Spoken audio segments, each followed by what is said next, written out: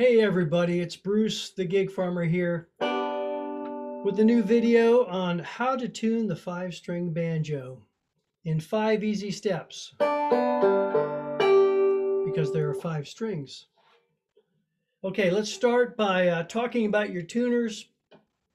You might have something like this, a snark. Nobody knew what these were 20 years ago, but now they're everywhere. I clip mine to where the face is showing behind the headstock. If you put it on the front, that's okay. Just make sure it's right side up so you know you're flat from your sharp. Now, you may also have one on your phone, something like this. And we can see my first string, which is D. The first string is the lowest string to the ground. Think of your strings as floors in a building first floor, second floor, third floor, fourth floor, fifth floor. The first string is the lowest string to the ground, even though it's not the lowest pitch. Now, this will never do because it's in tune.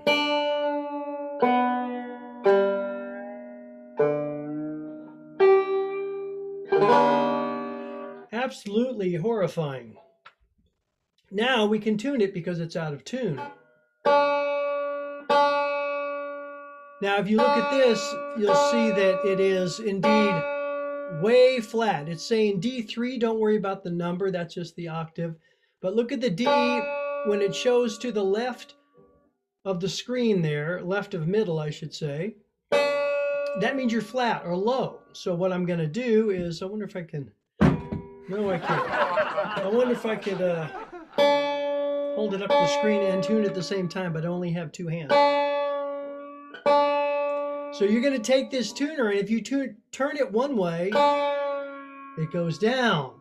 Turn it the other way, it goes up. If it's stringed properly, it will turn counterclockwise, will tighten it, okay, on these two.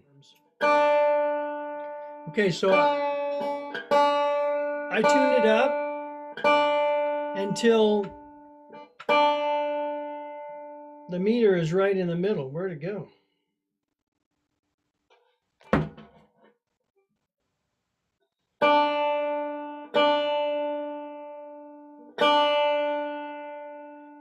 Bit sharp, but it's reading green. On this particular tuner, you can see the dots up on top. It moves to the right if it's sharp. Now here's a little trick. If it's just a little bit sharp, sometimes you can take your string and just pull on it. See if that did anything.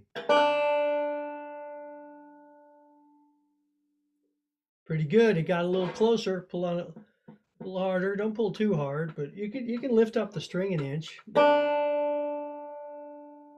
There we go. We got that one perfect. Let's go to the next one. That was a D. We're going to go to the B, second string.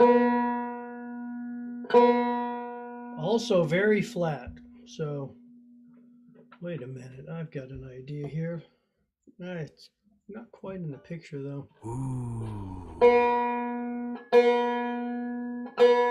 So I'm looking at my snark. Well, you can look at my phone tuner. You can find these online for free. This happens to be with a little app called Guitar Toolkit, which is good, but you don't need that much. It has a lot of other instruments and tunings and things.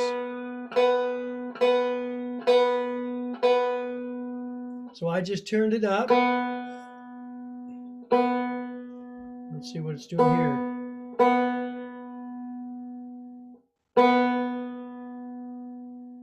You have to let it ring a little bit. You see, when it first starts, it jumps around some, but then it settles down. Let's go to the third string G. Yeah, that's better. See how it's way over to the right? The little digital meter is pegged to the right. It's way too sharp, so this time I'm going to have to bring the tuner down.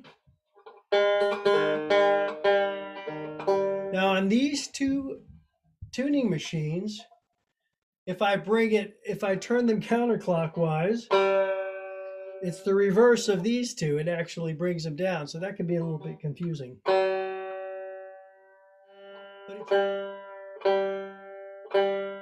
So I just fool around until I get it pretty close.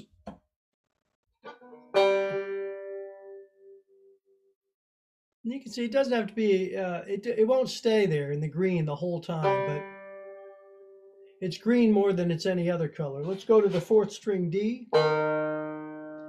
Again, this is looking, it's pegged out to the, the right, so it's quite a bit sharp.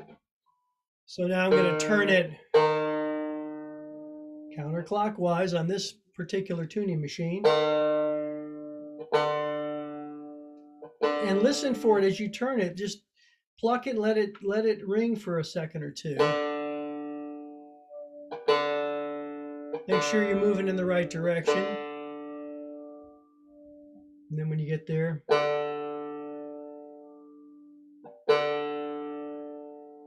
it's interesting. They don't always line up. The snark says it's in tune. This app says it's a little bit sharp still.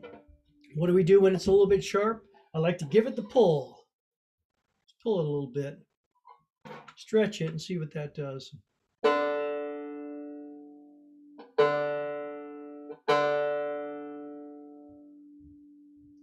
Pretty good. Might have gone a little too flat, actually. These are older strings, by the way. If you have new strings, they tune easier. That should be good enough. And finally, the fifth string, G.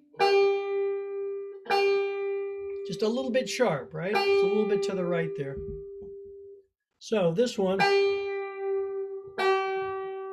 took it down. Uh, some people think that it's better to go lower or flat and then tune up to the pitch. That's not a bad idea because you get less of uh, the string stretching when you play it that way.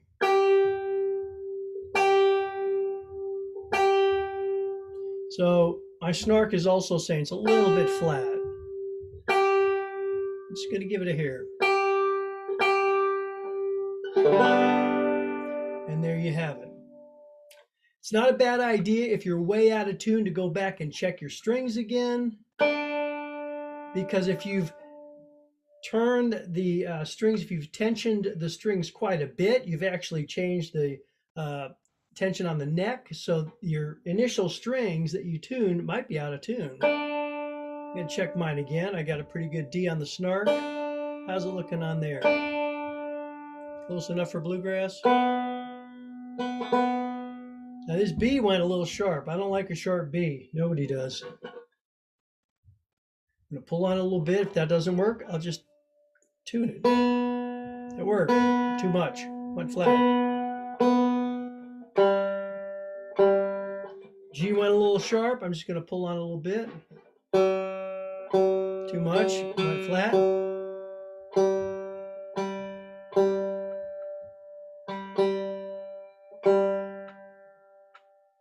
Hopefully you can see the very top of that. it's a little sharp again. I'll pull it again. A little flat. So you see just a little tug on the string can really change, especially on banjo strings and especially when they're old.